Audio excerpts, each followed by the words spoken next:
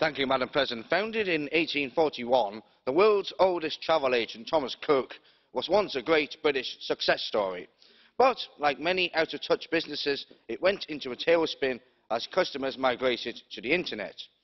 yet what was truly grotesque was that its overpaid directors who paid themselves £47 million in bonuses over the last ten years attempted to put their own ineptitude on brexit uncertainty.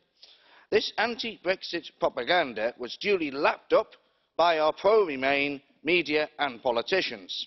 we should not be surprised. economically illiterate pro eu politicians in the labour party suggested that the british government should have bailed out thomas cook completely failing to realise that even if mps wanted to eu competition law would have prohibited such an intervention. their beloved eu is part of the problem not part of the solution.